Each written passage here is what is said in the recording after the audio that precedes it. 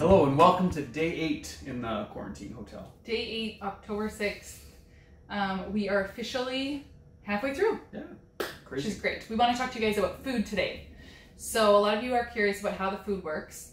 And essentially, how it works is we don't order, but they send us three meals a day breakfast, lunch, and supper.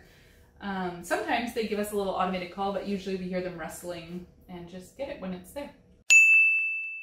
Right. So one thing that we did when we were booking the hotel in the first place was fill out a form about um, food allergies and that sort of thing.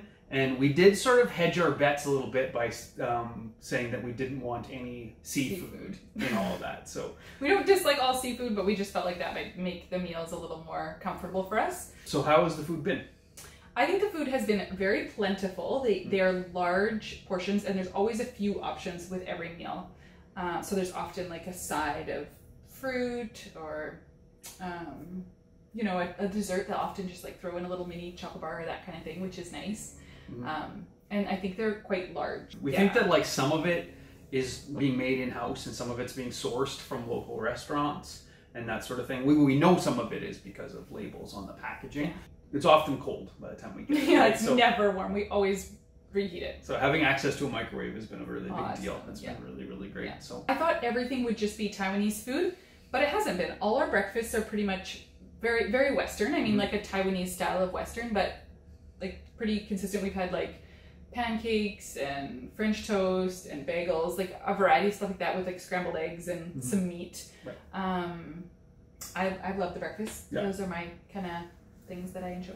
um, we're not we're not foodies, and so we generally eat pretty like plain, boring food at home. food from European uh, cultures more than not.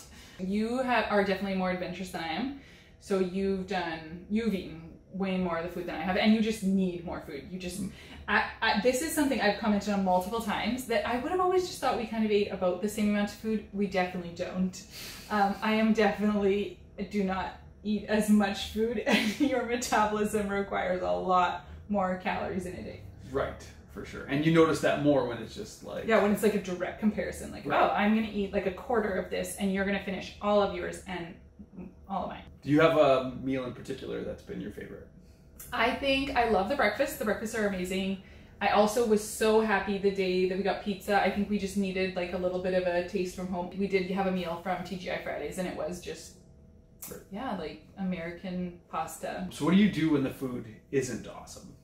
I have made instant noodles a few times. Two meals I didn't really eat anything of. Sometimes I'll eat like a little bit of the meat or whatever, Mhm. but yeah, I have made that. And also I have lots of snacks. Right. I I was most anxious about food. I think that was like the area that I was the most um, nervous of coming Mhm. in, just having really having no idea what it was gonna be like. So I packed lots of nut bars, um, popcorn, fruit leather.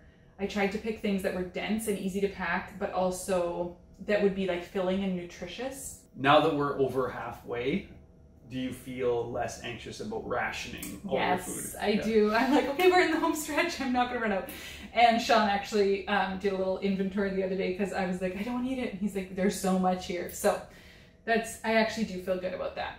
The other day, just out of boredom, I ordered a coffee from Starbucks on Uber Eats, and just to sort of see how the system worked and to see how it would get delivered. Yeah, they had said that they would only deliver during meal times if you ordered food, but thankfully they don't. They they bring it up as soon as you order. Right. So, and then the only other thing we've ordered is Some ice cream. Yeah.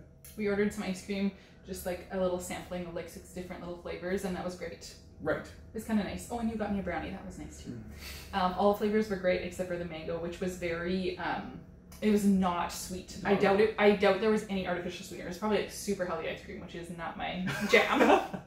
um, but it was. Um, yeah, it just wasn't sweet, which is very typical here. It, I mean, compared to Canadian desserts, I don't think anywhere else in the world does like sweet desserts like we do. Yeah. So, We're the home of Nanaimo bars and butter tarts. hundred percent. Thanks for watching. Keep sending your questions, um, and we'll do that video in a day or two.